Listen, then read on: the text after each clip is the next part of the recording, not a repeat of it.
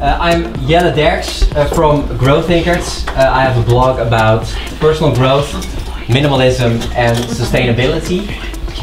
I love to, wear mud jeans because they are so circular and also because they have really good looking jeans.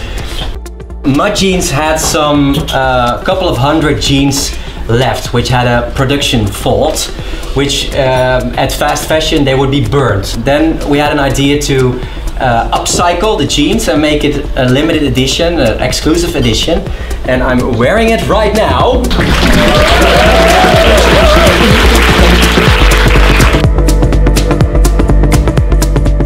My name is Bert Son. We said to ourselves, you know, there's a lot of things going wrong in the textile industry. There's a lot of waste, it's growing like crazy.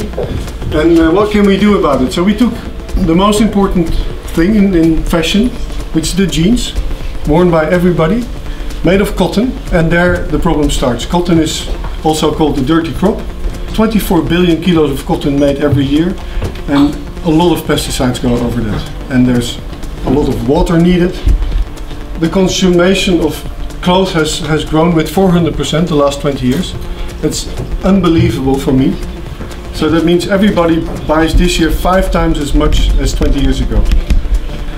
So we have to change that. What we did is we said, okay, let's try to find out a way to get our jeans back. Now we, we give you 10 euro discount if you bring your back your old jeans back to us. But the, the funnier thing was the thought of leasing jeans. Uh, do you need to be the owner of something or is the performance good enough?